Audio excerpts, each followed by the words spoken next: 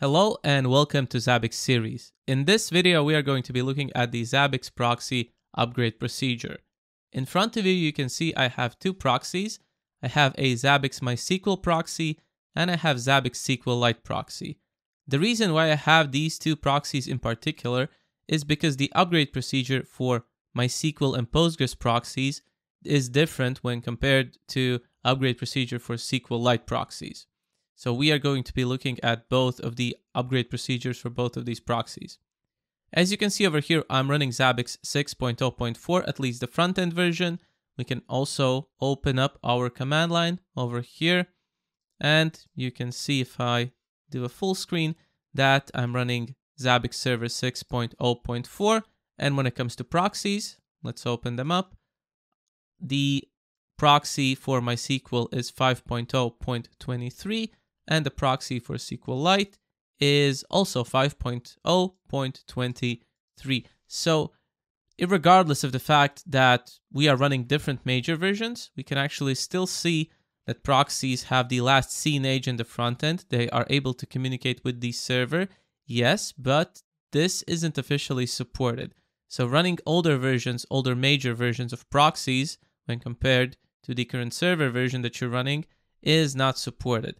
And actually, if we open up the proxy log files, let's say on the MySQL proxy, let's do a cat var log Zabbix, Zabbix proxy log, we will see if we scroll up some failure messages. Fail to update local proxy configuration copy unexpected field. The reason for this is because the server is sending the 6.0 configuration to the 5.0 proxy and the 5.0 proxy doesn't know how to deal with some of the new configuration fields. So you will have issues with data collection. And if you are upgrading your environment, you should upgrade both Zabbix server and Zabbix proxies, at least if you're doing a major version upgrade. If you're upgrading minor versions, so for example, you have a server of version 6.0.4 and proxy of version 6.0.2, that will be fully supported. All right. Now let's start with the SQLite because I assume many of you have maybe smaller environments for proxies and you're running SQLite. So let's start with the SQLite upgrade procedure. So let's start with stopping our proxy. System control stop Zabbix proxy. And you have to remember that once you stop your SQLite proxy, we will actually have to delete the SQLite database later down the line during the upgrade. So if you have a lot of collected backlog that hasn't been sent to the server yet, all of that will be deleted. So make sure that you have all of the necessary information stored in the Zabbix server, forwarded from the proxies, stop the proxies, and then we can start the upgrade process. So our first step will be adding the Zabbix 6.0 repository, installing it over here, Zabbix release 6.0. So let's install it. So that was quick, done, upgraded to 6.0. Now let's clean our DNF cache. The reason we do this is so in, in case if some of the older packages have been cached in the DNF cache, if that is the case, when we try to upgrade, we will see a message, no new version available. That's why we clean the cache and all of the new packages from the 6.0 repository will be reloaded into the cache and then we will actually be able to do the upgrade. So now we can do the DNF upgrade Zabbix proxy. So let's do it like this. DNF upgrade Zabbix proxy SQLite 3. And let's go. Let's also pass pass a yes to it. All right. Now we may have to wait for a minute or so. So let's do just that. All right, so the upgrade has been completed. Now let's try and start our proxy. So system control, start Zabbix proxy. Let's start it. And what we will get in a moment is an error message. We weren't able to start a proxy. Let's do a tail of the proxy log and let's find out what is the problem. Tail var log Zabbix, Zabbix proxy log. And Zabbix does not support SQLite 3 upgrade. The proxy does not match its database.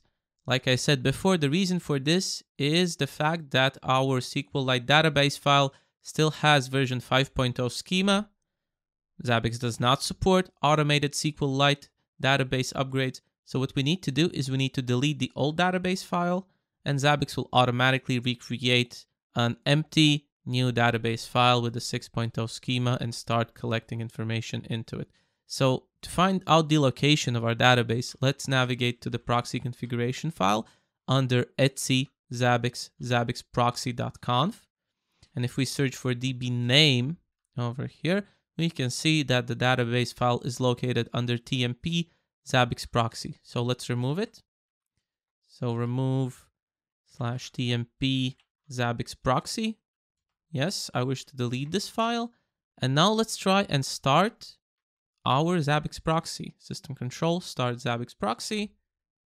No error messages. Let's do a tail once again of our proxy log. And we can see, looks like everything has been started successfully. So that's SQLite. Now let's move on to MySQL. MySQL is a bit different. So is Postgres. Postgres is very similar to MySQL. So, all right. Same as before, let's system control stop Zabbix proxy, right? We will stop our Zabbix proxy, then install the 6.0 repository. That will be quick. There we go, and it's done in a second. 6.0 repository installed. Let's clean up our DNF cache just to be safe.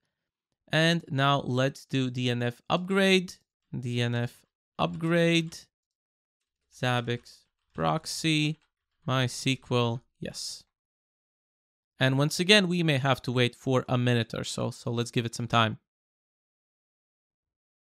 All right, our MySQL proxy has been upgraded.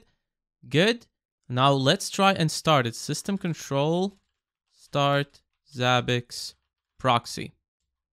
No error messages. And if we do a tail, var log Zabbix, Zabbix proxy log, we can see everything has been started. And if we actually do a cat or a longer tail, I'm going to do a cat of the proxy log, uh, we will actually be able to see if we scroll up that the database over here has been automatically upgraded. So that is the case with Postgres and MySQL. And over here we can see database upgrade fully completed, right? 100% successfully.